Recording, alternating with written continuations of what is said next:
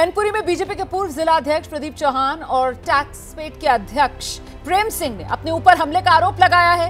ये बीजेपी के लोग हैं, कह रहे हैं इन पर हमला हुआ है, मैनपुरी में बीजेपी के दोनों नेताओं का आरोप है। समाजवादी पार्टी के कार्यकर्ताओं ने इनकी गाड़ी में तोड़फोड़ कर दी, जिसमें उनका ड्राइवर भी घायल हो गया।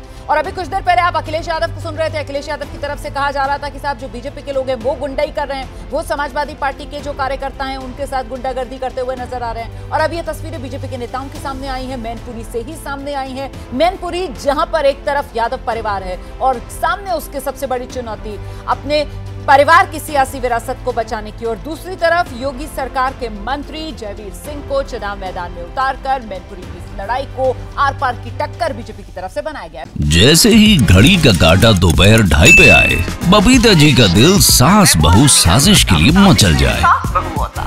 और ये है इनकी बहू।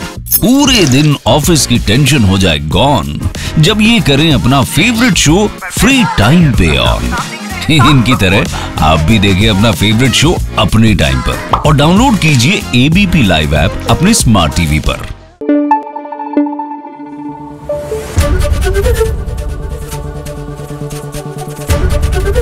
एबीपी न्यूज़ आपको रखे आगे।